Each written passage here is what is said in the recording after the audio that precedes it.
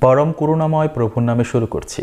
Sufism BD YouTube চ্যানেলে আপনাদের সবাইকে স্বাগতম। আপনাদের সাথে আছি আমি ডি এম রাহাত। এক ভাই প্রশ্ন করেছেন যে, আল্লাহ কেন গোপন? আজ সে ব্যাপারে আলোচনা করব।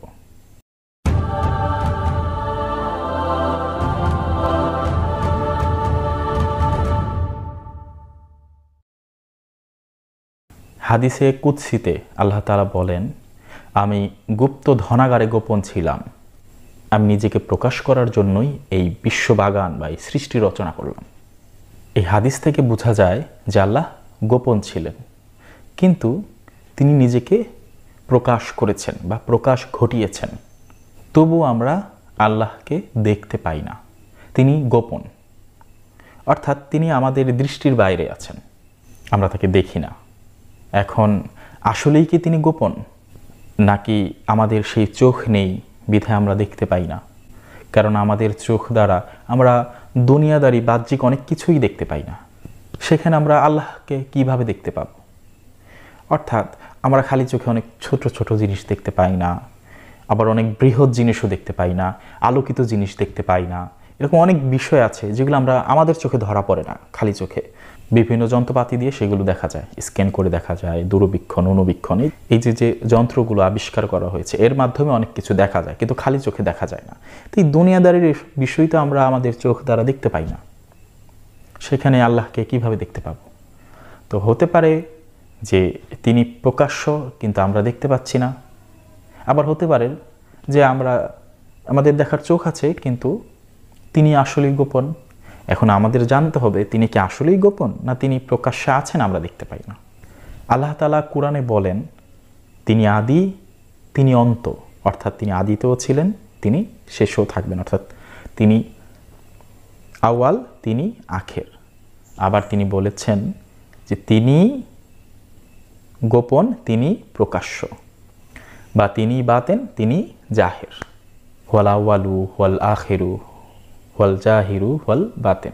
অর্থাৎ তিনি আদিতেও ছিলেন, শেষও থাকবেন, তিনি গোপনেও আছেন, প্রকাশ্যও আছেন। এইখান থেকে বোঝা যায় যে আল্লাহ প্রকাশ্যও আছেন। তিনি আদিতে ছিলেন, আমরা এটা বুঝি। আমরা সেটা হয়তো জানি না, যেভাবেই হোক ছিলেন। আচ্ছা তিনি সব শেষেও থাকবেন। ভালো কথা, আমরা সেটাও বুঝি। তিনি গোপন। আচ্ছা আমরা সেটাও বুঝি, গোপন একভাবে আছেন। কিন্তু তিনি বলছেন তিনি প্রকাশ্য, তিনি প্রকাশ্যও আছেন। এটা আমরা বুঝি না। এখন বুঝি না দেখে মানি না। যেহেতু আমি দেখি না, তাই ভাবছি, দেখা যায় না। কিন্তু তিনি তো বলছেন তিনি প্রকাশ্য। আমার দেখার চোখ নেই, তাই আমি দেখি না। অর্থাৎ, আমার সাথে তার চেনা জানা নাই, তাই আমি তাকে চিনতে পারি না। ধরুন, একজন ব্যক্তির সাথে আপনার সাক্ষাৎ হলো।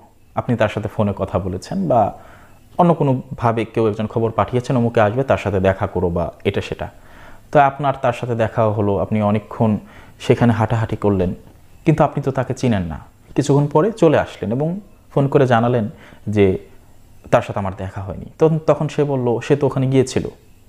তখন বলল, না, আমি তো তাকে দেখিনি।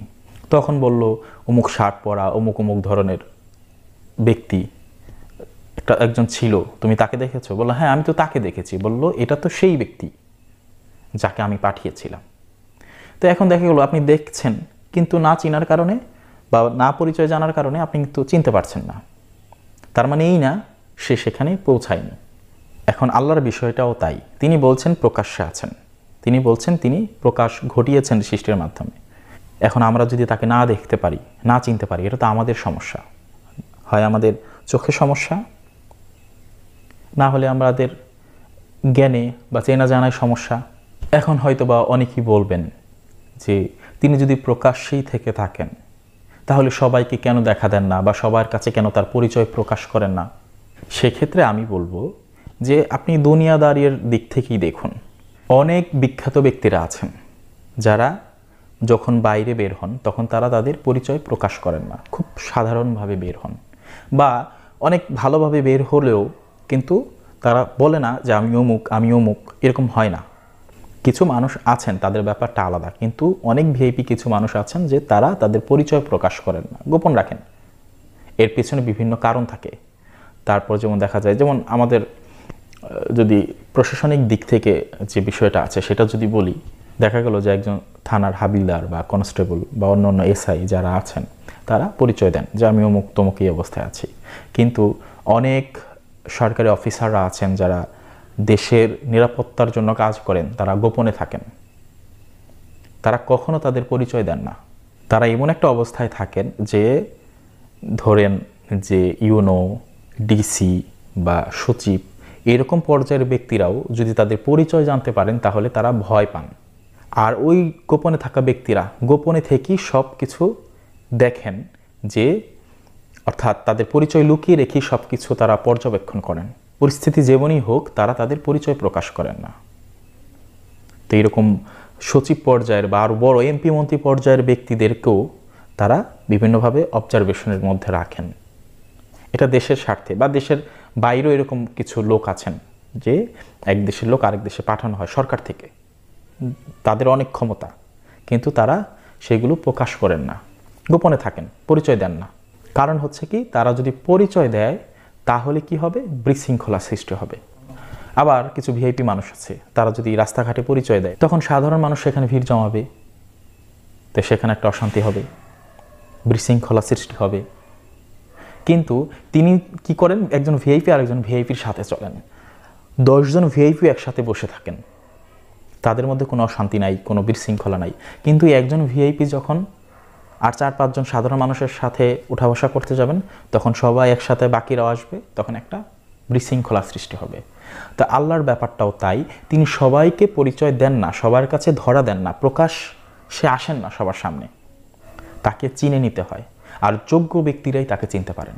তারা হচ্ছেন উলিয়া উলিয়া এবং আত্মজ্ঞানী ব্যক্তিরা। তারা জানেন যে আল্লাহ প্রকাশ্যও আছেন। তারপর আল্লাহ আদমের মধ্যেই গোপন, আদমের মধ্যেই বা মানুষের মধ্যেই লুকায়িত। যদি আল্লাহ লুকায়িত না থাকতেন, তাহলে কখনোই ফেরেস্তাদেরকে সেজদা দিতে বলতেন না। কারণ আল্লাহ ছাড়া কারও কাছে মাথা নত করা বা সেজদা দেওয়া বিধান নেই। যদি আদমের মধ্যে আল্লাহই না থাকতেন, তাহলে আল্লাহ কেন ফেরেস্তাদেরকে সেজদা দেওয়ার কথা বলবেন? আদমকে চিনতে হয়, নিজেকে চিনতে হয়। নিজেকে চিনলেই রবকে চেনা যায়, আল্লাহকে চেনা যায়। যখন নিজেকে চেনা যায়, তখনই বোঝা যায় যে আল্লাহ আসলেই কি গোপন না তিনি প্রকাশ্য। তখন তার বাতিনি রূপও দেখা যায়, প্রকাশ্য রূপও দেখা যায়। তারপর সৃষ্টির তিনটি ধাপ রয়েছে। আহাদি জগৎ, আহম্মদি জগৎ, মোহাম্মদি জগৎ। এই তিনটি জগৎ সৃষ্টি হয়েছে আহাদি নূর দ্বারা, আহম্মদি নূর দ্বারা, মোহাম্মদী নূর দ্বারা। অর্থাৎ আহাদি সত্তা থেকে আহাম্মদি সত্তা আহাম্মদি সত্তা থেকে মোহাম্মদী সত্তা।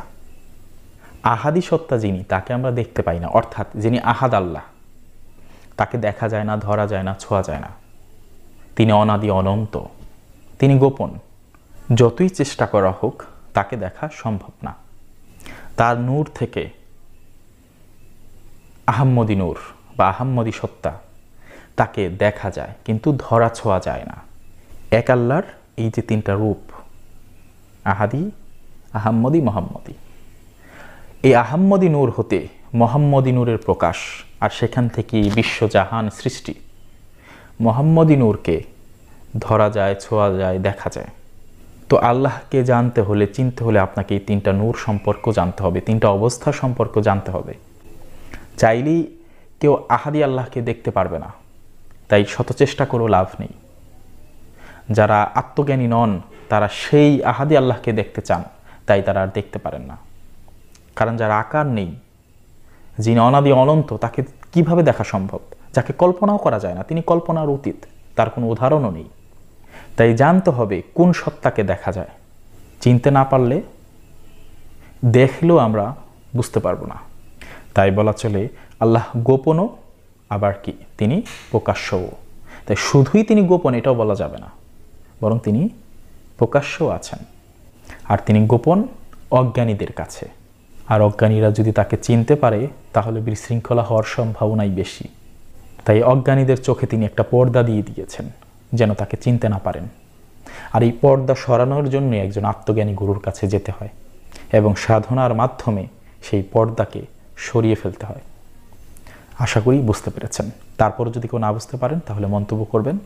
আমি অন্য কোনো ভিডিওতে সেটা নিয়ে আলোচনা করব। অথবা কমেন্টে রিপ্লাই দেওয়ার চেষ্টা করব। আজ এই পর্যন্তই ধন্যবাদ সবাইকে।